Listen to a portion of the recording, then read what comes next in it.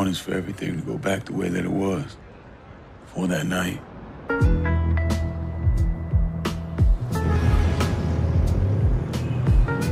So those the men you're gonna kill, huh? Shouldn't have said no.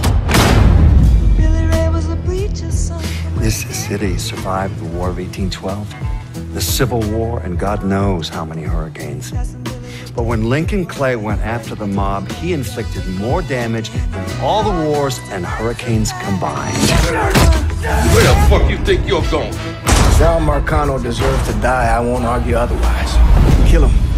But let that be the end of it. That's not enough. It's enough if you say it's enough. This isn't about bringing them back or even exacting some street justice. It's about making that bastard feel what it's like to lose everything. Welcome home, son.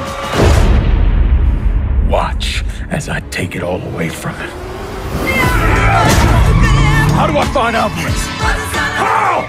We're getting ready to fucking kill me. I was just doing what Uncle Sal told me to do. There's got to be something we can do. You are Sal Marcano. We wouldn't be in this fucking mess if you'd done what you were supposed to do.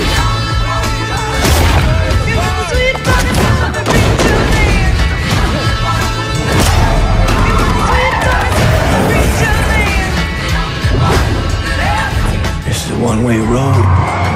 Once you start down it, there ain't no turning back. You are who you are.